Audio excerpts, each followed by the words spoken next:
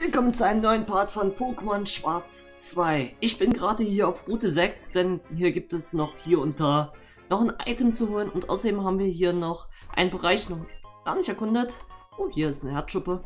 Und daher dachte ich, bevor wir hier weit eigentlich da weitermachen, wo wir eigentlich weitermachen wollten, gehe ich erstmal kurz hier hin und schau einfach mal nach. Hier unten gibt es sonst weiter nichts mehr. Okay, na gut, dann mich doch mal kurz die Abkürzung übers Wasser mit unserem Sklaven Nummer 2. Gut, hier ist sonst nichts weiter anscheinend. Genau. Äh, die Trainer versuche ich mal zu überspringen. Aber ich weiß nicht, ob das so gut klappt. Gut, wilde Pokémon kommen hier und da doch mal vor. Da könnte ich theoretisch äh, fliehen oder doch mal einen Funkensprung sprießen lassen. Für dieses Navitop, weil, ja, Luke auch die EP. Wir haben im letzten Part die Arena in der äh, nächsten Stadt da angefangen. Allerdings werden wir da heute nicht weitermachen, habe ich ja schon im letzten Part gesagt. Es sind einfach die Trainer zu stark. Und zwar ein bisschen sehr zu stark, um ehrlich zu sein. So, hier gibt es sonst nichts weiter. Doch da hinten, da muss noch was sein. Dann gehen wir da auch noch mal kurz hin. Hier gibt es ein Item aber auch ein, äh, ein, nicht ein Trainer, sondern ein Pokémon hier, ein Schnuthelm. Ah komm, Luke, das schaffst du auch. Je mehr wir ihn trainieren, desto besser, weil er wird für die nächste Arena halt sehr, sehr wichtig sein. Wir haben ihn ja schon in der Arena ein bisschen trainiert, aber wir sind nicht ganz durch. Was wir allerdings gleich vorhaben ist... Ups, das macht nicht so viel Schaden. Ach, wisst was? Wo ich jetzt hier lange herumeiere, so. Äh, was wir allerdings vorhaben ist... ist eine Höhle, okay. Äh, zur nächsten Route. Und unser sechstes und letztes Teammitglied fangen. Allerdings... Will ich erstmal hier kurz weiterkommen. So, hier unten gibt es nichts weiter. Ich, warte, ich setze auch mal kurz den Schutz ein. Ich habe keinen Bock auf wilde Pokémon. Das sind hier die TNs. Hier, Top-Schutz. 31 Stück hatte ich, jetzt nur 30. So, dann geht's hier hoch. Hier ist der Eingang äh, zur Elektrolythöhle, aber hier ist noch ein anderer Eingang. Da bin ich jetzt immer sehr gespannt. Obwohl, hier ist die Tür M56 Leute. Okay. Aber wir, wir zurfen einfach mal hier weiter.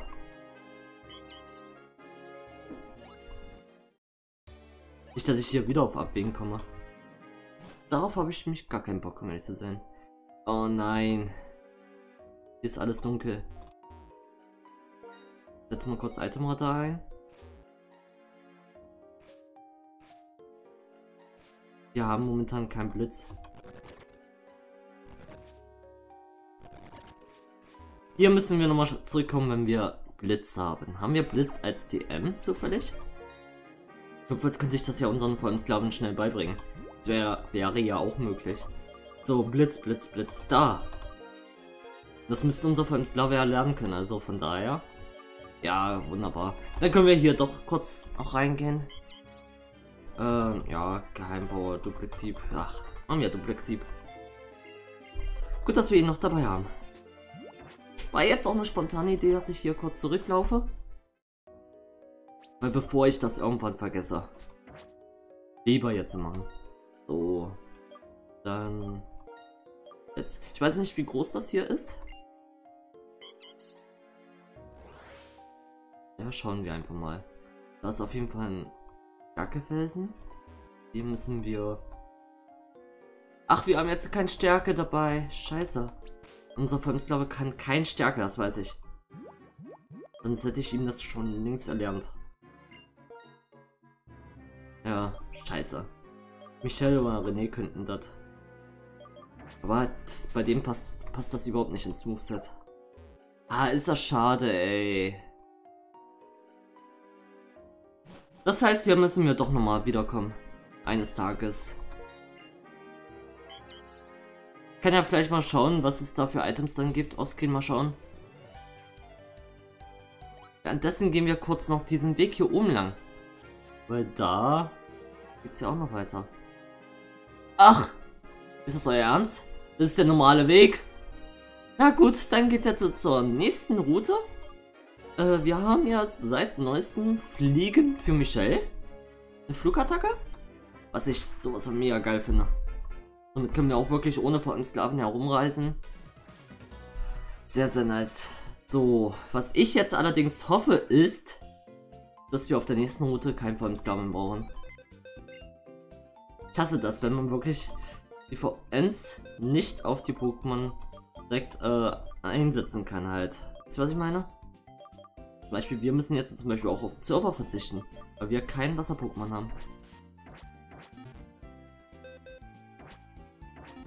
Normalerweise müsste ich ja auch auf Fliegen verzichten.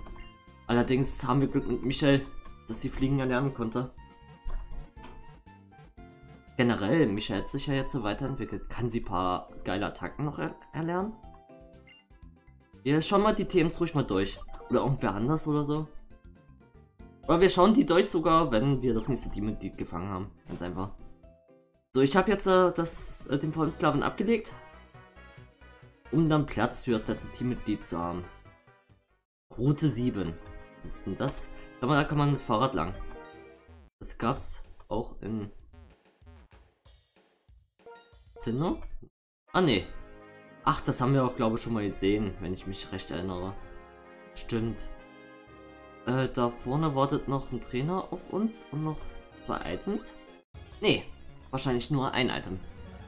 Und ein Anpignon.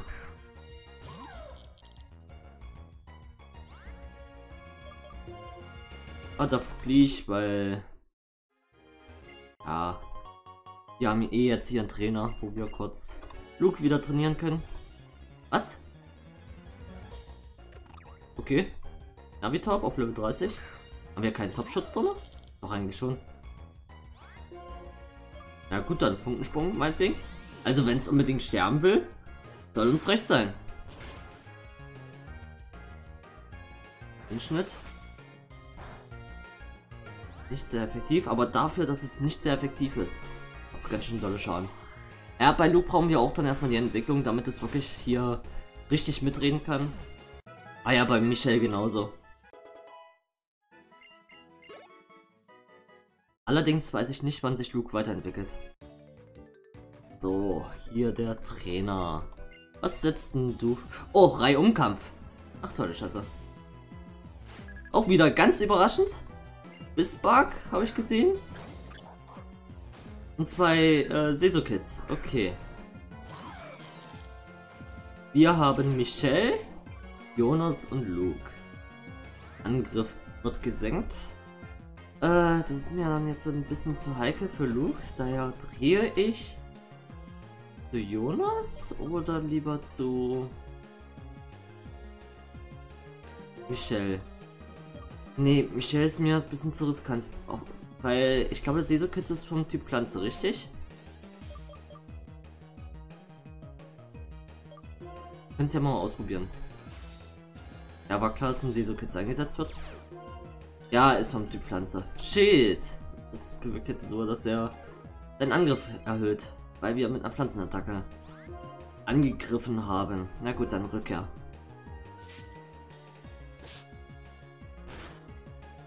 Michelle hätte allerdings hier auch mit äh, Fliegen angreifen können. Wir probieren das einfach mal. Fliegen. Okay. Spispark kommt nach vorne. Knoscher wird nicht. Oh, erst äh, wechselt zum Sesokitz. Das ist sehr, sehr dumm von ihm. Das ist dann dementsprechend sehr effektiv. Warum bleibt er nicht beim Bisbark? Gerade weil ich Fliegen einsetze? Hm, gute Frage. Wir machen dasselbe nochmal. Einfach mal ausprobieren. Ob es nochmal klappt. Und check, ja. Und er wechselt wieder zum Sesokitz. Was ist mit ihm los? Will er das Bisbark unbedingt vom Schaden abhalten? Volltreffer, sehr schön, Michel. So, jetzt hat er keine andere Wahl mehr. Jetzt muss er mit ihm kämpfen. Ähm, da... Was ist stärker? Sta ähm, Schaufler oder Feuerodem? Beides normal effektiv. Ich schau mal die Stärke kurz mal an. Den Attacken. Ähm, Stärke 60. Stärke 80. Paralysiert. Ja, ich setze, setze trotzdem mal Feuerodem ein. Wegen der Paralyse, die eventuell eintreten könnte. Ja, Paralyse ist drin, aber es macht extrem wenig Schaden. Uiuiui. Wir versuchen mal Schaufler. Ja, jetzt hättest du ruhig angreifen können. Wir sind eh im Boden. Ja, schon besser. Knirscher, okay. Was senkt sich? Die Verteidigung. Das heißt, wir müssen jetzt in Zukunft aufpassen. Setzen nochmal Schaufler ein. Natürlich jetzt hier die Paralyse. Und gleich bestimmt nicht. Wow. Ah doch. Sehr schön. Paralyse wirkt. Und dann gerne noch einmal Feuerodem. Das Team haben wir schön auseinandergenommen. Das gefällt mir. Weiter so.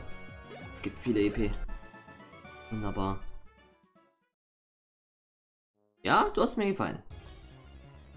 Ich muss gleich mal schauen, ob Topschutz drin ist. Sind ja, na gut, Level 33. Auf demselben Level wie Luke. Da kann dann noch doch nochmal ein wildes Pokémon kommen. Och nee. Wie doch jetzt. Ach man, ist das dein Ernst? Scheiß Guckmaler. Und jetzt äh, entkomme ich, ja, natürlich. Ah, Mann. Wieder einen Beleber einsetzen. Was gar nicht nötig gewesen wäre. Das war sogar nur normal effektiv. Luke, du brauchst unbedingt deine Entwicklung. Aber er wird auf jeden Fall zu einem sehr starken Pokémon. Das kann ich euch direkt sagen. So, hier haben wir ein paar Trainer ausgelassen. Die will ich natürlich auch bekämpfen. Die werden nicht ausgelassen. Ein Züchter. Eine Pikolente. Ist, ich glaube, ist vom Typ Wasserflug zufällig? Das kann nämlich sein. Wenn ja, dann vierfach Schwäche gegen Elektro. Tschüss. Aber eine Schwäche hat es auf jeden Fall. Das ist klar. Das sieht doch schön aus. Das ist noch ein Navitop. Weiterkämpfen. Welchem Level sind eigentlich die gegnerischen Pokémon? 34 bei zwei eingesetzten Pokémon. Die sind deutlich underlevelt. Deutlich. Obwohl wir in der Elektrolythülle waren. Die man hätte überspringen können. Wir waren ja schon beim Arena-Kampf. Wirklich underlevelt. Aber jetzt? So, sicherheitshalber nochmal einen Funkensprung einsetzen. Decke hätte, hätte wahrscheinlich auch gereicht oder Ladestrahl. Aber sicher ist sicher. Wunderbar. So, ist das da unten auch nochmal ein Trainer? Nee, wenn du auf den Holzplanken verweilst, fällst du nun runter. Gut zu wissen. Dann mal lieber da drauf nicht verweilen. Itemratter mal einsetzen. Hier ist sonst in der Nähe nix. Ein Haus. Wir wohnten hier drin. Und der Anblick zweier spielender Pokémon macht einen Trainer froh. Sag mal, hast du dir denn schon einen Emolga ge geschnappt? Also falls du einen Emolga hast, würdest du es vielleicht gegen meinen Brokolos tauschen wollen? Kenn ich nicht Brokolos? Und ich habe auch keins. I'm so sorry. Ah, das ist auch wieder so ein Tipp, wo man äh, ein Pokémon äh, tauschen kann. Sehr schön. So. Topschutz. Okay, war nämlich keiner drin. Immer, dass wir so viele wilde Pokémon antreffen. Wir treffen immer noch welche an. Zebritz, da will ich auf jeden Fall flüchten. Auf welchem Level? 33. Flucht. Ah, Flucht gescheitert. Mann. Ja, es ist nicht sehr effektiv. Ein Glück. Boah, trotzdem macht so viel Schaden, obwohl es kein Volltreffer war. Ach, über zu Michelle. Na, natürlich setzt er in dem Moment Verfolgung ein. Natürlich. Wieder ein unnötiger Tod. Ich wollte eigentlich auf Flucht, aber egal. Ich habe einfach nur A gedrückt, weil ich dachte, jetzt wird trotzdem gewechselt.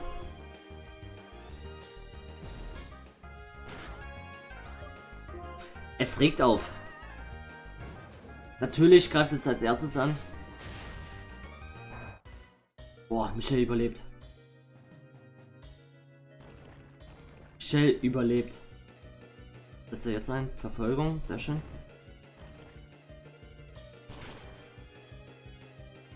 Boah, danke Michelle, dass das ein Volltreffer war. Uiuiui. Mann ey.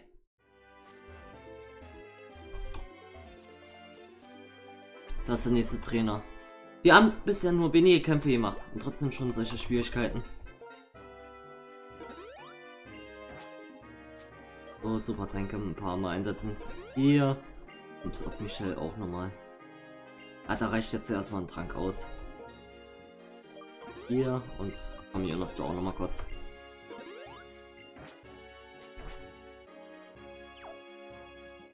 Gut, wir haben halt auch viele Pokémon worauf sich halt die EP verteilen. Jetzt haben wir Luke frisch gefangen. Bedeutet, die ganzen EP, die wir kriegen, äh, wenn wir an bei Luke, bedeutet, die anderen werden momentan gar nicht gelevelt. Oder nur ganz wenig. Und das ist halt gerade der Nachteil, den wir so ein bisschen haben. Aber was ja an sich nicht verkehrt ist, im Dreierkampf interessant. Wow, sehr schön. Sehr, sehr schön. Ähm, da greift Luke das linke Pikulente an. Michelle setzt Steinhagel auf alle drei ein. wird schön. Und Jonas setzt Laubklinge auf das rechte Pikulente ein.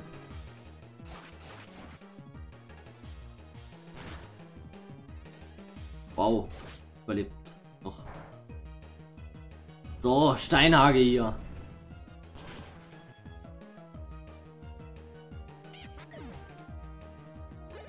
So, das Wasser Snob überlebt, was nicht so schlimm ist. Linke Pikulente stirbt jetzt noch. Und das Wasser Snob können wir jetzt schön besiegen, wenn wir alle drei drauf gehen. Aber warum wurde Luke angegriffen? Bei Jonas wären Flugattacken sehr effektiv. Immer so. Ähm, da setzen wir wieder Steinhagel ein und mit Jonas machen wir Rückkehr. Jonas greift auch als erstes an. Er hat die höchste Initiative von uns allen. Luftschnitt, Jonas wehrt die Attacke an, Wunder äh, ab. Wunderbar. Und Michael gibt den Rest. Und hätte es jetzt überlebt, wäre Luke auch noch da gewesen. Level 34 für Luke. Sehr schön. Endlich ist er auf dem aktuellen Level angekommen. Level 37 für Michelle. Die ist momentan die höchst gelevelte. Level 36 für Jonas. Alle kriegen Level ab. Geil. Einrollen. Was ist das für eine Attacke? Kenn ich nicht. Eine Giftattacke? Anwender rollt sich zusammen und sammelt sich. Dabei werden Angriff, Verteidigung und Genauigkeit erhöht. Angriff, Verteidigung klingt an sich nicht schlecht. Ist besser als Wachstum. Momentan. Weil Verteidigung erhöht wird und Spezialangriff brauchen wir halt nicht. Daher, ja. Was? Jonas entwickelt sich. Ja, nice. Wusste ich gar nicht, dass es jetzt schon passiert. Das heißt, dass es neben René ist Jonas die erst, das erste Pokémon, welches die letzte Entwicklungsstufe erreicht hat. Beziehungsweise Jonas ist auch das erste Pokémon, was die dritte Entwicklungsstufe erreicht hat. Wow. Ein gigantisches Pokémon, Serpi Royal. Sehr schön. So, brauchen wir ein paar Tränke oder sowas? Schau mal kurz. Ja, hier ein Trank auf. Luke, zweiten Supertrank auch gereicht, aber egal. So, Luke will ich weiter trainieren lassen. Nico und René müssen dann noch trainiert werden. Michelle bleibt erstmal aus. Nein, ich wollte nicht Fliegen einsetzen. Shit. Da wechsle ich mal kurz äh, nach Nico nach vorne und da René mal nach vorne. Falls noch ein Dreierkampf oder ein Reihumkampf kommt. Auf jeden Fall ist hier der nächste Trainer. Also den Turm des Himmels werden wir in diesem Part, denke ich, nicht erreichen. Es sei denn, der ist gleich hier in der, um, um die Ecke. Kann ja sein. Weil das ist ja unser Ziel sozusagen. Da ist ja auch Professor Esche hingegangen. Genau. So, Funkensprung. Ein Pi. Das solltest du wohl schaffen, Luke. Ein Pi ist nicht schwer. Ah, easy. Pflanzenattacke? Ja, gut. Hier noch ein Tackle hinterher. Sind 19 KP verloren. Chillerbell, das ist. Was ist denn das für ein Pokémon? Ich bleib einfach mal kurz drunter, bevor es wechsle ich. Ah, das Vieh. Okay. Guten Sprung. Hersteller. Was? Ach, tolle Scheiße. Ach man. Komm René, du mal nach vorne.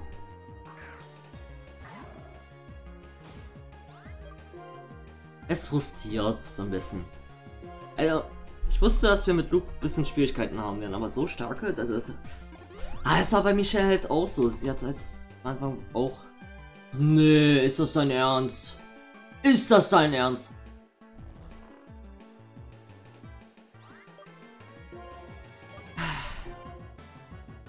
Ja, die erste Runde wird auf jeden Fall schlafen. Das macht nicht so viel Damage. Das trifft so mehrmals als mehr als zweimal. Gut, René. Schön, dass er aufgewacht ist. Tschüss. Blödes Vieh.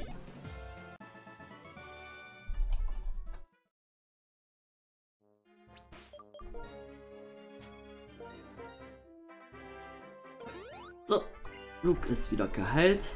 Sobald Luke so auf Level 36 ist oder so, kann er kann er ja erstmal von der 1 weg. Oh, ein Blattstein. Löst bei manchen Pokémon die Entwicklung aus. Vorrangig natürlich bei Pflanzen-Pokémon.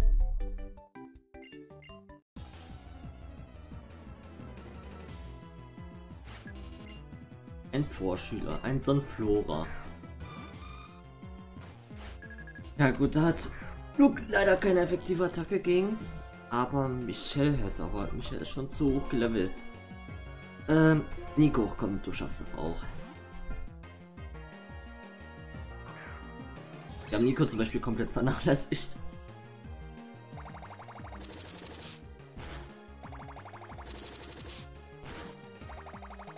Oh, nerv nicht. Nerv nicht. Ja, natürlich trifft er fünfmal. Natürlich trifft er fünfmal.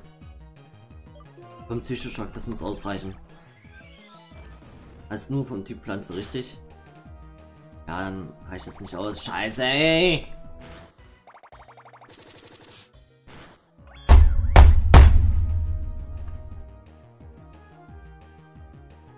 Ich raste aus. Komm, Luke, den Rest schaffst du hier. Wehe, wenn ich.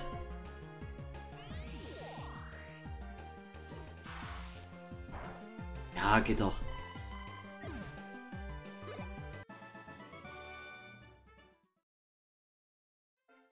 War aber auch Pech, dass wir fünfmal getroffen haben. Gut, ich hätte dann wissen müssen, hier, äh, Nico, wechsle ich aus oder heile ich jetzt? Habe ich nicht gemacht. War auch so ein bisschen mein Fehler jetzt mit, aber ich habe damit gerechnet, dass dieses Sunflower da einfach down ist. Mann. Ärgert mich so ein bisschen. Nein, nicht noch hier ein wildes Pokémon, darauf habe ich jetzt gar keinen Bock, weil wir sind hier am Turm des, äh, des Himmels angekommen. Bedeutet, da werden wir dann dementsprechend im nächsten Part unser Teammitglied fangen. Hinter gibt es da noch irgendwas? Hätten wir da? Ja. Ein Mini-Bilds kann man verkaufen. So, ich schaue mir noch mal kurz die Route an. Vielleicht haben wir auch irgendwo irgendwas übersehen. Zum Beispiel hier. Da oben.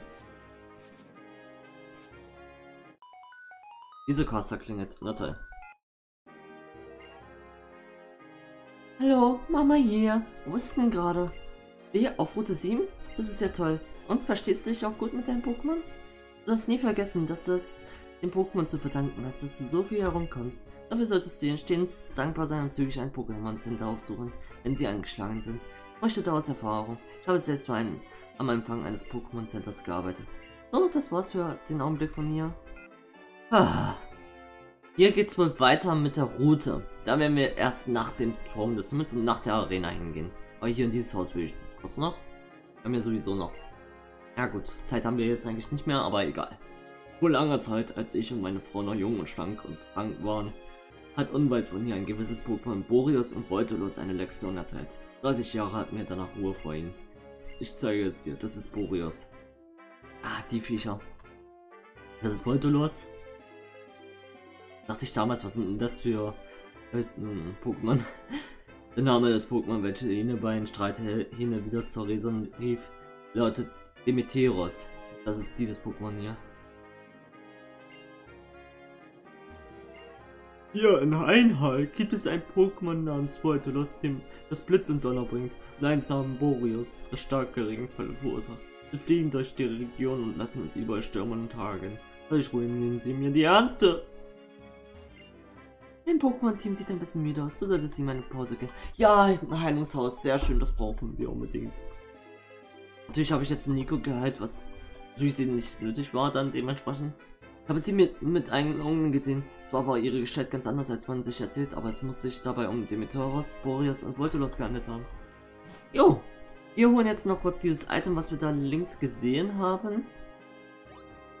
Kurz hier raus und das hier. Ach, das ist ein Trainer. Cheat! Dann habt ihr noch mal ein paar Minuten länger jetzt hier. Weil hier noch eine Vorschülerin ist mit einem Flampion. Ah, da, da will ich auf jeden Fall wechseln. Da wäre wiederum Michelle wieder gut.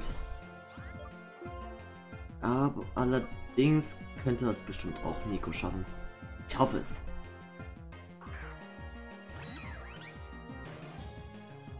Buschler, okay. Oder Fuchtler oder wie auch immer. Psychoschock. Hat er auch einen kleinen Kampftyp mit dabei? Einen kleinen? Äh, einen generellen Kampftyp anscheinend nicht. Sonst wäre es ja auch sehr effektiv, aber ist normal effektiv daher. Das ist wunderbar, Nico. Ich habe hab das gar nicht gesehen, den Trainer hier. Ich dachte, hä, wo bin ich jetzt dagegen gelaufen? Hab's angesprochen und dann, ups. So nach dem Motto. Elixier. Ui. Elixier hat das nicht äh, AP und KP? Oder? Oder nee, das ist halt. Ah, nochmal Elixier. Nee, das ist halt. Alle AP? Eines Pokémon um 10 oder so? Ich glaube, so war das. Egal, wir sehen uns im nächsten Part hier an der Stelle wieder. Bis dahin und tschüss und freut euch auf das letzte Teammitglied. Bye bye.